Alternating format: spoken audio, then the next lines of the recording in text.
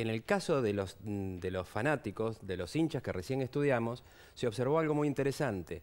Siempre tuvieron frecuencia cardíaca alta, aún estando tranquilos y sentados. Pero esto digo, frecuencia cardíaca alta es por lo menos 90, 100, 110 por minuto, es decir, taquicardia.